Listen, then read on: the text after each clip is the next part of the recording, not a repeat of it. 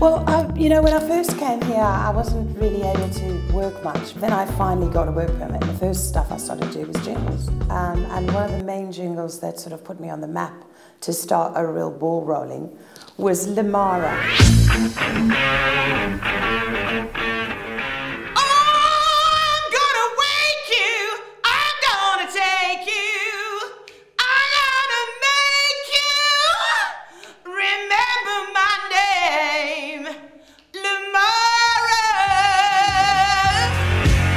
It was animated, and in fact, we did a song um, afterwards called um, Remember My Name, and it actually went to number one in the heavy metal charts. I was number one and definitely number two. And then the spate of trio adverts, um, which is quite funny because the two guys who wrote the trio were the actual guys who played the bongos and the guitars, and I was shaped around my character as well.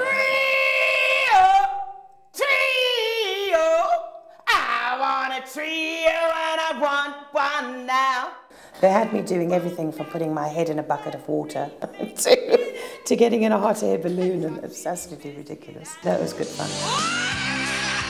Bodyform has ultra soft sides, so you don't feel it. And then the Bodyform ad, which was probably the you know the most successful one I did, and again also won an award, and it's still being used in Sainsbury's and Tesco's, and you hear me bellowing my billows all over the place.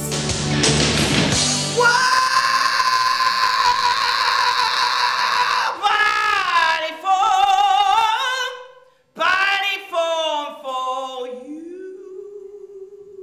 And then the Crunchie one, of course, which was a big Christmas hit as well. Oh, I'm so excited, and I just can't hide it. I know, I know, I know, I know, I know, I like you. Oh, I'm so excited, baby. Yeah. I'm Stevie Lange, star vocal coach for One Click to Fame.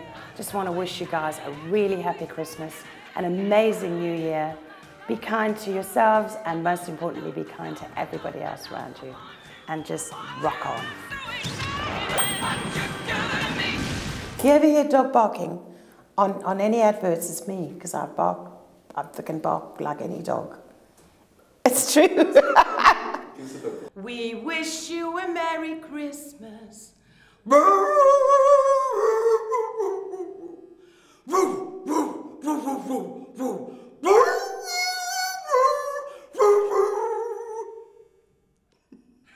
can't believe you're making me do this.